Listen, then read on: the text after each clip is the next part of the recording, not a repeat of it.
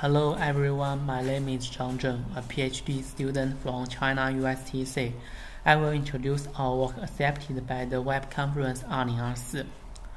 User modeling technologies profile user latent characteristics from their behavioral behaviors.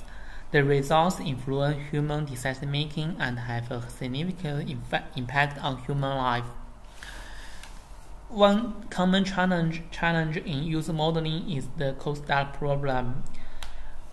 In recent years, the machine learning-based methods is very important is, is, is very important solution.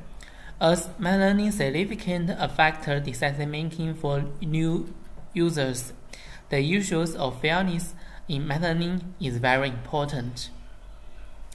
Existing fairness-aware Many methods include regularization-based methods, constraint-based methods, adversary-based methods. However, while these methods have demonstrated promising results, a fundamental question remains unexplored.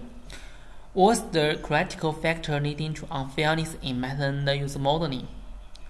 To answer this question, we conduct the, the deep theoretical analysis by, by combining uh, a learning paradigm and the fairness metric, the results shows that the group proportion imbalance during the outer loop is the critical factors.